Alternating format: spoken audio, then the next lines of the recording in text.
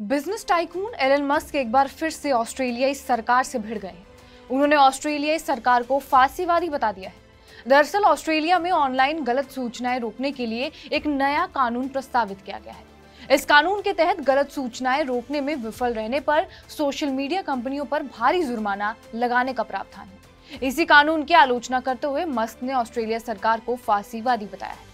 दरअसल ऑस्ट्रेलिया की लेबर सरकार ने गुरुवार को संसद में कानून पेश किया, जिसके तहत गलत सूचना को बढ़ावा देने के लिए सोशल मीडिया कंपनियों पर उनके वैश्विक राजस्व का पाँच परसेंट तक जुर्माना लगाने का प्रावधान है। इस कानून का उद्देश्य तकनीकी दिग्गज कंपनियों पर लगाम लगाना माना जा रहा है और अब दुनिया भर में इस तरह के कदम उठाए जा रहे हैं। ऑस्ट्रेलिया के प्रस्तावित कानून के मुताबिक तकनीकी प्लेटफॉर्म को झूठ और भ्रामक खबरों से फैलने से रोकने के लिए आचार संहिता निर्धारित, यानी कि एक यूनिफॉर्म कोड लागू करना होगा। ऑस्ट्रेलियाई सरकार के नियामक द्वारा आचार संहिता को अनुमोदित किया जाएगा।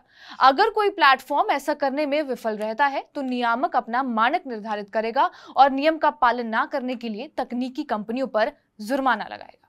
एलन मस्क जो अभिव्यक्ति की आज़ादी को लेकर हमेशा से मुखर रहे हैं, उन्होंने सोशल मीडिया पर एक पोस्ट पर प्रतिक्रिया देते हुए ऑस्ट्रेलिया सरकार की एक शब्द में आलोचना की और उन्हें फांसीवादी बताया।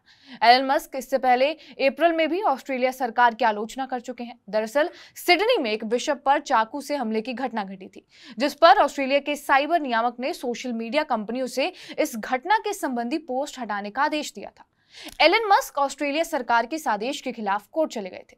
उस समय भी एलन ने ऑस्ट्रेलिया यूज़र्स को चाकू मारने की घटना वाला पोस्ट व्यू करने से रिस्ट्रिक्ट कर दिया था, लेकिन ग्लोबल लेवल पर उन्होंने इसे हटाने से इनकार कर दिया था, क्योंकि मस्क का कहना है कि देश के नियमों को इंटरनेट पर कंट्रोल नहीं करना चाहिए।